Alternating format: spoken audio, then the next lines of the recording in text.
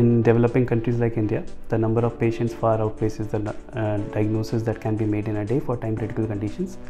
Uh, artificial intelligence has been shown to perform well in such conditions, and uh, we at IGIB are working towards improving these algorithms in an uh, Indian context. Hi, my name is Prateek, and I work in the Medical AI lab supervised by Dr. Debasis Dash.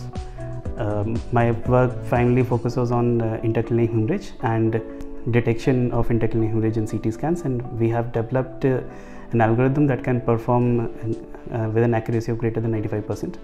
Uh, we are also working on TB detection in chest X-rays in the Indian context, where the lungs are plagued with the dirty lungs issue.